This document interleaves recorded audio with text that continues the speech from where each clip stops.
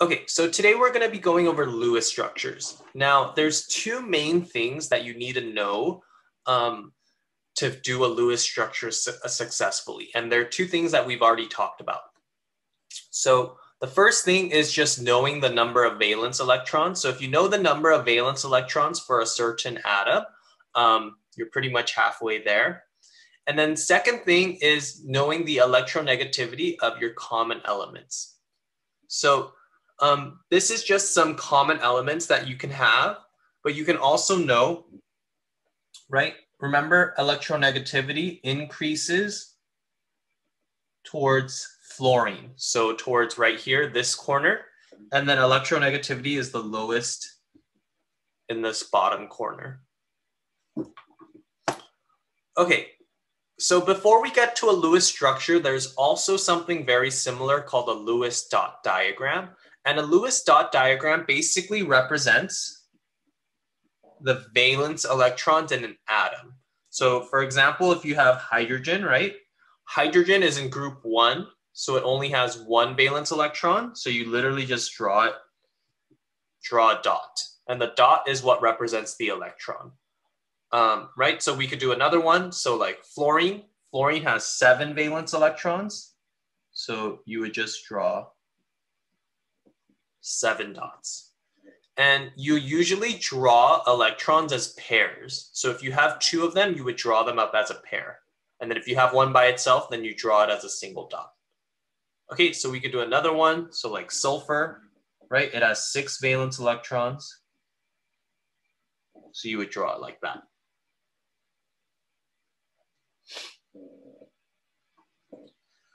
Okay, um, I'm not going to do all of these because I think it's pretty straightforward. So you just draw the valence electrons as dots. Okay, so this is going to be like the bulk of the lesson, drawing a Lewis dot structure. So there's a lot of words here, but the main thing that you need to know is Lewis dot structures or diagrams represent covalent, I should say molecules, because it's not just compounds.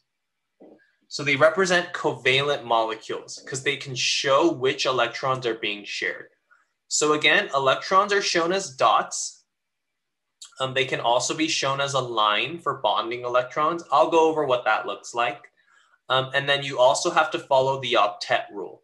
So remember the octet rule is atoms want eight valence electrons. Um, the only exceptions in this case right, would be like hydrogen and helium because they want two. Um, because remember again, that first layer can only fit up to two electrons. So pretty much any other atom that we're gonna use for covalent compounds or molecules will want eight valence electrons. Just watch out for like hydrogen. Even helium, helium's a noble gas, so it doesn't bond to anything. So you're never gonna really be asked like to draw um, a compound or a molecule with helium in it. It'll basically only be hydrogen. Okay, and then here's even more words. So um, these are all the rules for a Lewis structure. There's a way faster way to do it, but I'm gonna show you how to do that a little bit later in the end. Uh, just because like you should know how to do the actual way um, because the fast way doesn't work for like every every single atom or molecule. I mean, it works for like 95% of them, I would say. Uh, but I'm going to just teach like the correct way first, and then I'll teach you the shortcut way. Okay, so first thing is you find the total number of valence electrons. Um, again, if you have a negative compound, you would add an extra electron or electrons. If your compound is positive overall, that means it lost electrons. So you would remove electrons from the total but you find the no total number of valence electrons. Step two, you're gonna put the least electronegative atom in the center.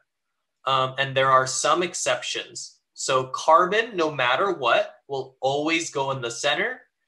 And then hydrogen, even though it's the least electronegative, um, or it's a very like low electronegative atom, um, hydrogen will always go on the outside. Okay, so these are your two exceptions to the rule. Um, okay, step three is you're gonna put two electrons between atoms to form a chemical bond, and I'll show you what that looks like. Step four, you complete your octets. Again, these are some exceptions, um, hydrogen and helium. And then this is also an exception, aluminum and boron. So if a question ever asks you for aluminum and boron, just make sure you remember it only wants six electrons um, instead of wanting the eight. And that's because, well, aluminum and boron, they're kind of like metal metalloids, so they behave a little bit differently. But I usually don't ask about this too much. Um, but just make sure you know these are exceptions. And then step five, this is like an optional step. So it only happens sometimes. But if your center atom does not have an octet, you're going to rearrange the electrons from the outer atoms to form double or triple bonds. And again, I'll show you what that looks like. Um, so you have single, double, and triple bonds. Obviously, single bonds are weakest, and then triple bonds are your strongest atoms.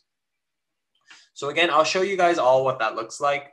Um, I would say the most important rules here are the ones I'm about to like circle. So, I mean, they're all important, but I guess the ones people make a lot of mistakes on is, I would say this step, rule number four. So when you complete your octets, you go from your outside atoms first. So outside to inside. So you go from out to in. You never go from inside to outside. Okay, so just, I'll emphasize this again, but just don't mess up on this part because you're gonna mess up um, your Lewis structure. So this, like, it's not important for the easier ones we're gonna do right now, but for the harder ones, it's gonna be important. Okay, so let me just, let's go over this, right? So HCl. So I always just write my total valence electrons over on the left. So you have hydrogen and chlorine.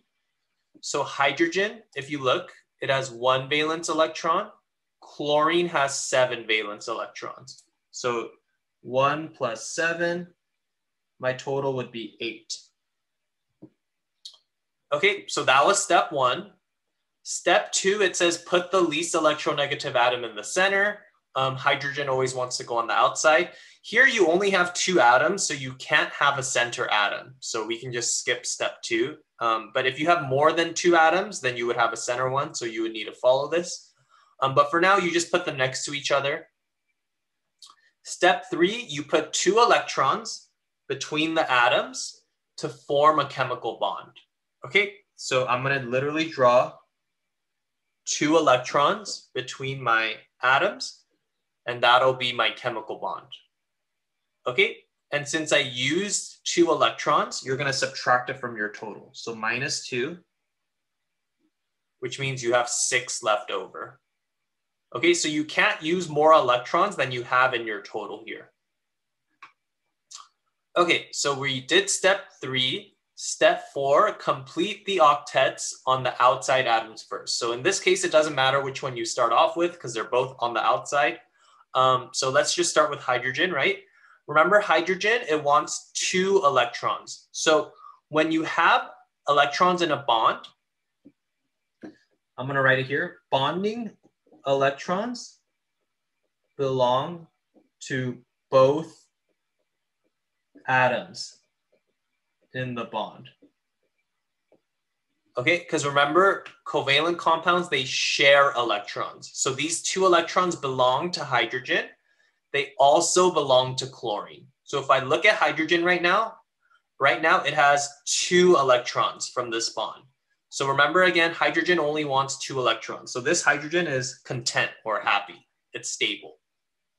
So it doesn't want any more electrons. Once your octet is complete, um, then you don't really have to touch that atom. So I can move on to chlorine, right? If I look at chlorine, it wants, right now it has two electrons, but it wants eight total, remember, to get your octet. So it needs six more. So I can just add six more electrons. One, two, three, four, five, six, right? And then you can just subtract six from your total. So you have zero left over. Once you hit zero and both of your atoms are content, that means you're done with your Lewis structure. So this would be my Lewis structure right here for HCl. Um, one other thing to note too is instead of writing it like that, you could just write it as a bond. So this line represents a bond between the two atoms. And I think the bond is easier to see that it's like connecting them. And again, this, each bond, so a line can represent a bond of two electrons. So each line represents two electrons. Okay, so you have to have two electrons to form a bond. So you can either draw it as two dots or you can draw it as a line. Um, I always draw it as a line, but you do whatever makes you feel more comfortable.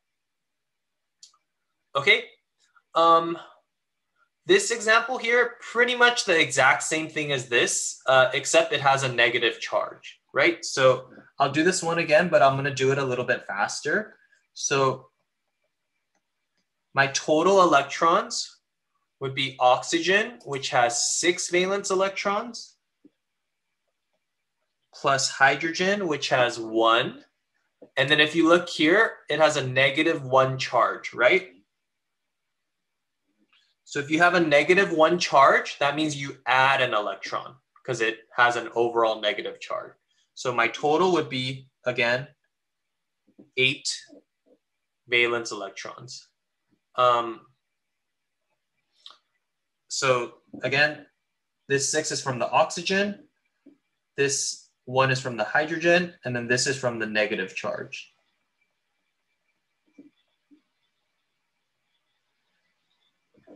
So again, you just draw the elements next to each other. So O and H. Um, and then you draw a bond between them. So I used up two electrons. So I have six total, right? Um, I can focus on this oxygen. So this oxygen right now, it has two electrons, but it needs six more. So I would do one, two, three, four, five, six. So minus six, that goes to zero. And then you don't have any more electrons anyways, but we can check for hydrogen, right? Hydrogen has these two electrons, so it's content. So both of these have octets, so we're good. And then the only thing that you need to do is if anytime you have a charge, you need to put brackets and you need to put the charge on the top right-hand corner. So this would be OH minus or minus one. Um, but if you have just a normal compound, you don't need to put brackets on the charge. Okay. Um, so these were a little bit easier the next ones, I mean, this one is still pretty easy, but I would say like anytime you get to step five, so with like double bonds or triple bonds, I think that's when people get confused. Um, but we'll just focus on these easier ones for now. So I'm gonna do H2O and then I'm gonna have you guys do NF3. Okay, so H2O, again, right here we have multiple different atoms. But again, it says right here, hydrogen always goes on the outside. So if you look at this oxygen, then you have two hydrogens and one oxygen. So you should have the oxygen in the center, um, just because your hydrogens always go on the outside. And I'll give you a little clue too, like Lewis structures tend to be symmetrical. Okay, so if you're confused on what goes in the center, um, most of the time they're going to be symmetrical. So just write it out, right? You can't have it symmetrical unless you have the oxygen in the middle. So you would never have it like HHO or something like that. Okay. So again, write the total number of valence electrons. So you would have one plus six plus one right? One, six, one. So that would be eight total again. Um, and then you draw two bonds between each of the atoms. So right now I just used four electrons. So I have four left over. And then again, you check your outside atoms first, and then you focus on the inside. So if I focus on my hydrogens, right, these are both content. So they both have uh, two valence electrons. So these are good. And then I focus on my oxygen. Right now, my oxygen has four electrons. It needs four more. So you would have one, two, three, four.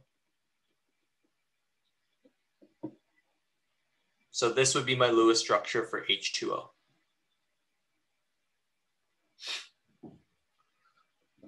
Okay, um, and then one thing I want you to note too is there's these things called lone pairs. So it says right here, lone pairs are pairs of non-bonding electrons. So if you look, these are my lone pairs. So this hydrogen atom has two lone pairs, or you could think of it as it has four non-bonding electrons, right? Because these electrons are not a part of a bond. So two lone pairs or four non-bonding electrons. You can also think of that um, as these bonds as well. So right here, right, this element or this uh, molecule has two bonds or four bonding electrons as well, right? You see here, it has two bonds, or in other words, it could be four bonding electrons. So just make sure like you know what your lone pairs are or what your non-bonding electrons are, um, what your bonds are or what your bonding electrons are. Okay, um, I'm gonna have you guys take some time to draw NF3. Um, and then we'll go over together. And then, yeah, I already did the first two questions for you. So just focus on NF3. Okay, um, I'm gonna start going over this and then if you're still working on it, you can kind of follow along. Okay, so NF3, um,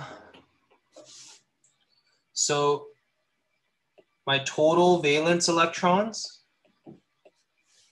so each nitrogen would have five right? Because it's in column 15. And then each fluorine would have seven. So you would have five plus seven plus seven plus seven. That would add up to a total of seven times three is 21 plus five, so 26. So you would have 26 total valence electrons. Um, and then again, nitrogen would be in the center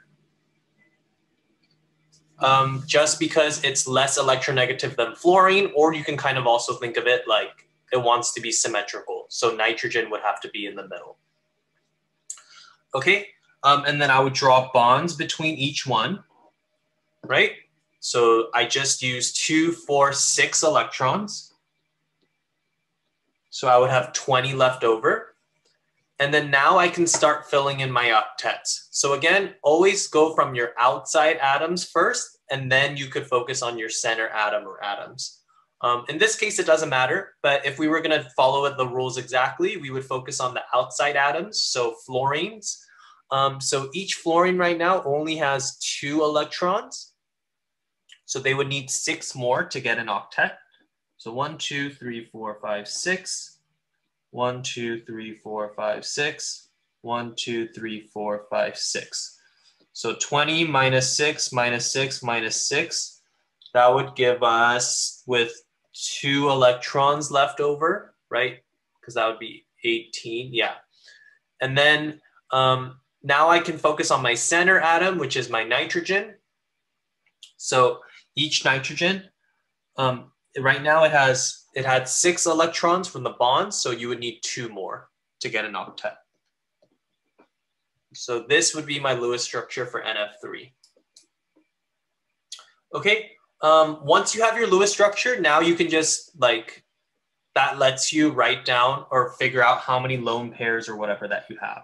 So for lone pairs, this structure has one, two, three, four, five, six, seven, eight, nine, ten. So you have 10 lone pairs. Or in other words, that each lone pair is two electrons, right? So that would be 20 non-bonding electrons. Okay, and this atom or this molecule has three bonds. Or in other words, that would be six bonding electrons.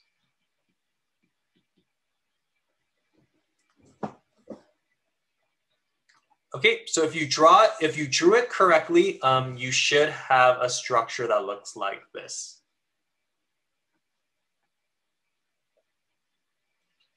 All right, now here is the HONC rule. And the HONC rule is like really useful because it basically lets you skip all these steps and just write or draw these Lewis structures in a shortcut way.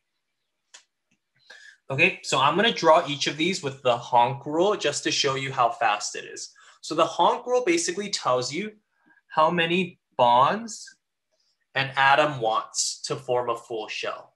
So hydrogen and also the halogens. So hydrogen and the halogens will only want to form one bond. Like, I think like 99% of the time. I can't even think of an instance where it doesn't want just one bond. Um, so hydrogen and the halogens only want one bond oxygen and its group will likely form two bonds. Nitrogen and its group will likely form three bonds. And then carbon and its group will likely form four bonds. So it goes in order, right? One, two, three, four, HONC. Um, and then other tips. So these are, I already said these, right? But carbon always wants to be in the center. Hydrogen always wants to be on the outside. And then if you don't have either of these, then just follow the rule with like the least electronegative in the middle. Um, so following the HONC rule, I'm gonna just draw H2O. Okay, so if I have H2O, right? Again, you would have O in the middle and your H is on the outside. And then it just tells you how many bonds it wants to form. So it's like really easy, right? So hydrogen wants to only form one bond. So you draw a bond. Same thing with this hydrogen, it only wants to form one bond. And then it says oxygen wants to form two bonds. So if I look at this, right, it's already formed its two bonds. It has one bond here and another bond here. So once your bonds kind of like match up, you're pretty much done. All you need to do is fill your octets. So my hydrogens have filled or are already like have filled, I guess, their two electrons. And then oxygen, we just need to fill its octet in the center. So two, four, six, eight. And I don't even need to count my total valence electrons because if you do this correctly, um, it'll always just match up perfectly. Right, I can do the same thing, right, with NF3.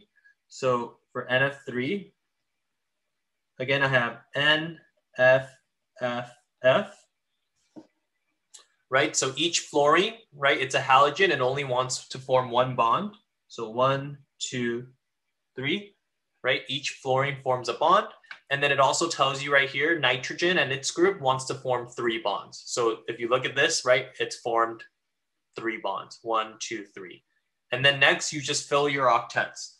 So fill, fill, fill, fill. And again, I don't even need to count my electrons. Um, as long as your bond number of bonds like matches up here, then your um, octet will, or like you can just fill your octets and it'll be okay. So that's kind of the shortcut way. Um, and the shortcut way is really useful when you have like these things called double or triple bonds. So here are our last two examples. I'm gonna draw them um, like the normal way first, and then I'll show you it with the HONC rule. Okay, so let's do CO2. Um, and then I'll show you guys why, again, like the normal way kind of gets confusing. Um, but you do whichever one you feel most comfortable with. So for CO2, right? Again, your carbon always goes in the middle and your oxygens will go on the outside. And that also makes it look symmetrical. And then count our total valence electrons. So oxygen has six, Carbon has four, another oxygen would be six. So this would be a total of 16 total valence electrons. Okay, Um, and the next step, you draw a bond between each one, right? So right now I just used four electrons. So you have 12 left over. Okay, and then this is where like that rule becomes really important. So remember it says um, you're going to complete the octets on the outer atom first. So outside, outside, outside atom first. And then you could focus on the inside. So we're gonna complete the octets on the oxygens first, and then we could focus on the center atom. Again, I just say it because like if you don't do that, you're gonna mess up. Okay, so um, my oxygen over here on my left, it needs six more electrons. So that would give it its octet. So minus six, you have six left over. Okay, and then this oxygen over here on the right, it also needs six more electrons. So that would, um, that would make it content. And now you have zero electrons left over. So this is the issue we get into when we draw some Lewis structures. Both of my oxygens are good, but if you look at my carbon, its octet is not complete, right? It only has four electrons, but it needs eight or it needs four more. Um, but the problem is you can't just add electrons here because you've already hit zero. You've run out of electrons. So you can't do this. So when you run out of electrons, um, but your center atom still doesn't have an octet, that's when you need to do rule number five. You need to rearrange the electrons from the outer atoms to form a double or a triple bond. Okay, so rearrange, which means move. That doesn't mean like you just add more electrons. You just move or rearrange the electrons. So what you can do is you can take a lone pair from the outer atom and make it into a bond. So what I'm going to do is I'm going to take a lone pair from this oxygen, and instead of it being a lone pair, I'm going to make it into a bonding electron or bonding. It's going to make turn into a bond. And that works because that means this oxygen will still keep these electrons because it's part of a bond. Um, so it'll still have eight electrons, but it'll allow this carbon to gain two more electrons because now these electrons are not in a lone pair for oxygen anymore. They're being shared between carbon and oxygen. So it'll gain two more electrons. So if I draw this out, right, it'll look like this now. Right, so you can see this oxygen still has its eight electrons, two, four, six, eight. Um, but this carbon now, instead of having only four electrons, it has six electrons. So it still needs two more electrons. And this is a way to like rearrange your electrons so you can give more electrons to your center atom without like physically adding more electrons because you've already run out. So your total electrons should still remain the same. So again, I can move these electrons as well from a bond, um, from a lone pair into a bond. So my total or my final Lewis structure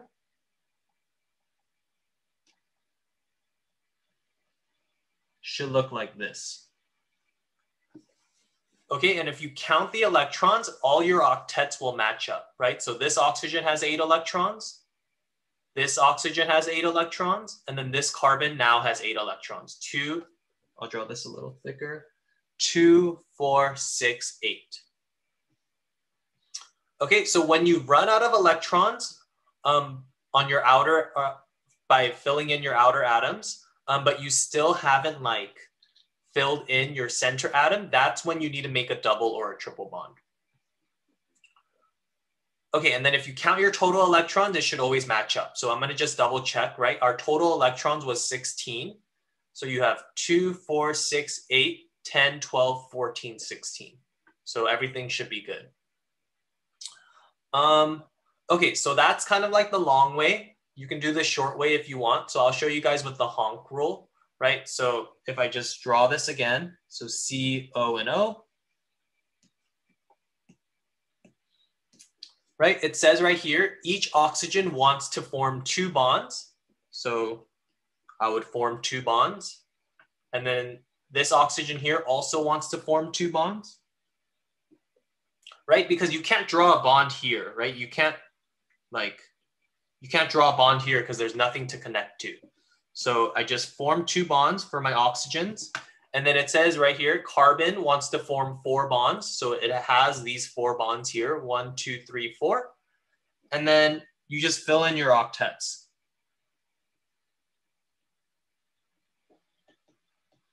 And everything should match up. So these are the same. Okay, so I think the HONC rule is way easier. Um, so you can do that if you want, but sometimes it won't work. So you still kind of have to know the actual way too but it's up to you, whatever you feel more comfortable with. Okay, um, I'm gonna launch the next poll. So why don't you guys work on uh, C2F2 yourself? Um, yeah, I don't know if I should, yeah, I'm just gonna have you guys work on it on your own and then we'll go over it together. Okay guys, let's finish up. So this one was a little bit more difficult. Um, so I'll just do the fast or the, the normal way first, and then I'll do the fast way. So C2F2, again, carbon always wants to be in the center. So you're gonna have your two carbons in the middle, and then you would have your fluorines on the outside. Um, and again, your Lewis structures want to be symmetrical. So um, draw it out how you think it would look symmetrical. Um, and then I'm going to count my total valence electrons. right? So I would have seven, each fluorine is seven and each carbon is four. So seven plus four plus four plus seven, that would be, so this would be 14, 18, 22. So I would need 22 electrons total. Okay, um, I would draw a bond between each one right? So that means I just used six. Um, so that would give me um, 16 left over. Right, and then again, fill your outside atoms first. So in this case, my outside atoms are fluorine. So I would fill one, two, three, four, five, six, seven, eight, nine, 10, 11, 12. So, oops. That means um, I have four more electrons left over. Okay, so I filled in my outside atoms. Now I can focus on my center atoms. So I can choose any of the center atoms that I want. Um, so in this case, I'll just choose the left one. It doesn't really matter, right? So I would have one, two, three, four and that would move my total to zero. Okay, so I have three atoms that are content, but I have this one atom here in the center that doesn't have um, that doesn't have a full octet. Okay, so I'm gonna use this atom, this carbon, to make my triple or double bond. The reason why I don't use the fluorine um, to make my double or triple bond is because of this rule. Remember, fluorine only wants to have one bond, right? So these fluorines both only have one bond. So they're happy. Like you don't want to touch these fluorines. Okay, um, so if I move this electron, right, to make a triple bond, and I'm also going to move these to make another bond. Actually, I'll just, let me go slower. So I'm going to move this over here to make a double bond. So if I do that, right, right now, my atom would look like this. But still, here I have eight electrons, but this carbon, I only have two, four, six electrons. So what you would need to do is you need to make another bond by moving this over here. So my final like outcome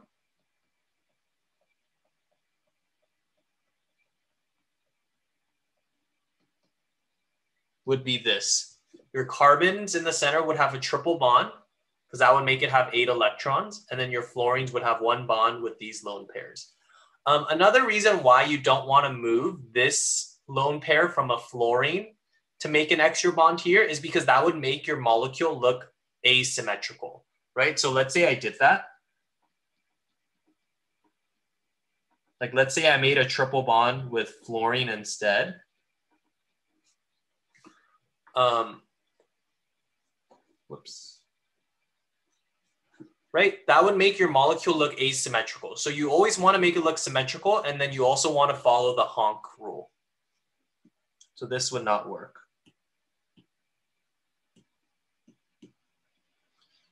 Okay, um, but let me just do it the faster way with the HONC rule because it's way easier than this, I feel like. So again, um, you have F, C, C, and F. Remember, carbon wants four bonds. Fluorine wants just one bond. Okay, so each fluorine wants one bond, right? So these fluorines are happy. And you have to connect these carbons here right? So these fluorines only want one bond, so they're good. So I'm not gonna touch anything with the fluorines. But remember, each carbon wants four bonds. So this carbon right here only has two bonds, and this carbon right here only has two bonds. Um, I can't add a bond here to the fluorines because the fluorines only want one bond, so they're good. So I would just have to connect the carbon. So if I add another bond, right, make a double bond, that would be three bonds for each carbon. And then if I add another bond, that would be four bonds for each carbon. Okay, and then once your bonds are satisfied, you just fill in your octets. So one, two, three, four, five, six. One, two, three, four, five, six. And then your center carbons don't need um, any atoms um, or any lone pairs because they're already content. Okay, so these would be my two Lewis structures, and then we can just go over the quick questions for the poll, right? So how many double bonds does CO2 have? It has two double bonds.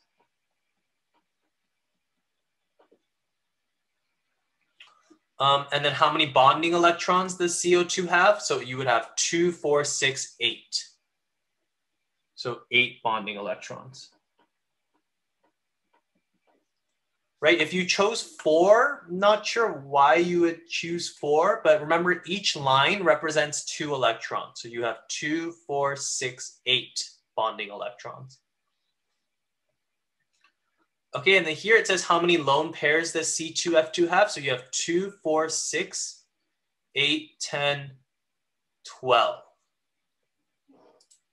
Right? Two, four, six, eight, 10, 12. So it would have 12 bonding, 12, oh, sorry, sorry. How many lone pairs? So you have one, two, three, four, five, six. Yeah. So six lone pairs. Or in other words, that would be 12 non-bonding electrons.